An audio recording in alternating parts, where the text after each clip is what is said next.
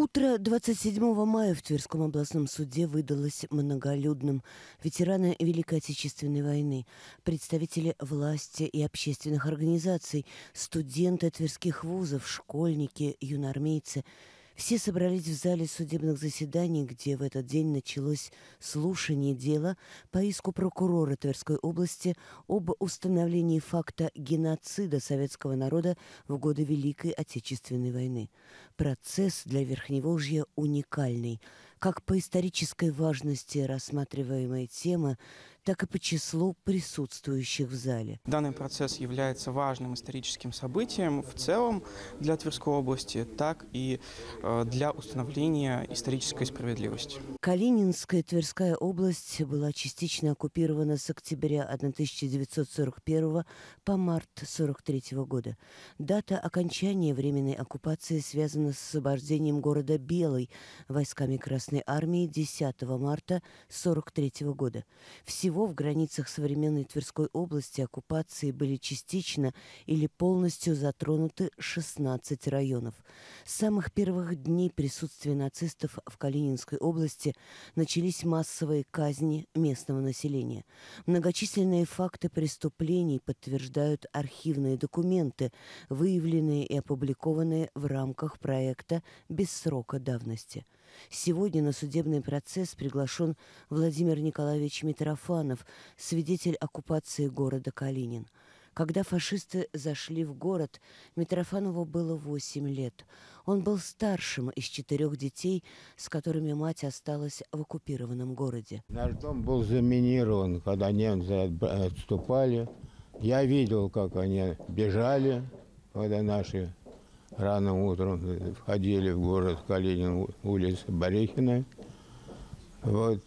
И великому счастью, просто случайность помогла спасти нашу семью и солдат наш, уже пришедший, дома не взорвался. Вообще варвары высшей категории, конечно.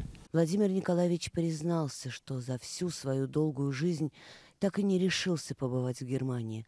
Помнил об ужасах той кровавой войны. Я считаю, что это очень важный процесс этого требует обстановка сложившейся в мире. В годы Великой Отечественной войны, защищая Родину, погибли родные и близкие многих из присутствующих сегодня в зале суда студентов. Эти темы важно поднимать всегда, потому что не в первый год происходят э, такие события, когда необходимо вспоминать прошлое и э, обязательно э, чтить уроки памяти, которые были у нас. Это очень значимый процесс, потому что Великая Отечественная война – это огромное историческое событие, которое очень сильно повлияло на судьбу людей детей и на формирование нашего государства, особенно в нынешней политической обстановке.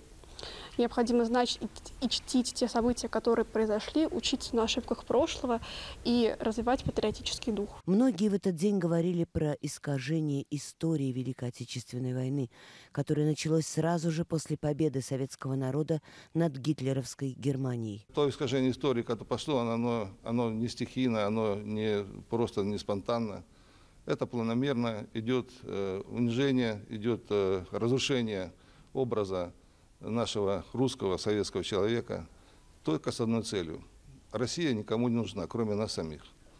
Поэтому значит, все идет для того, чтобы разрушить Россию, разрушить, разбить ее на э, части, на протектораты по типу Югославии. Вот, и тем самым, так сказать, обеспечить будущее себе и своим, так сказать, гражданам. Это известные, так сказать, личности, это Америка, Англия, ну теперь Запад уже, Франция с Германией.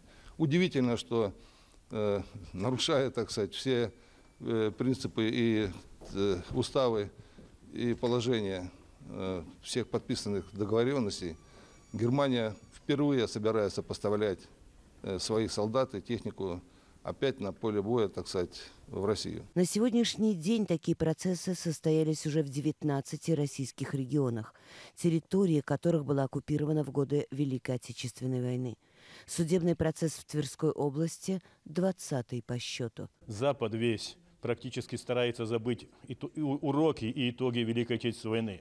А мы этого забывать не должны. Мы, наше поколение, уже такое более взрослое, а тем более, вот я вижу, здесь присутствует много молодежи, для которых это урок истории, урок того, что происходило в нашей стране, как мы победили этого могучего врага. Территория Тверской области в годы Великой Отечественной войны стала одной из территорий геноцида, проводимого нацистами и их пособниками против мирных советских граждан, поскольку совершенные ими преступления определяются именно как геноцид, согласно Конвенции о предупреждении преступлений геноцида и наказании за него 1948 года, а также статьей 357 Уголовного кодекса Российской Федерации.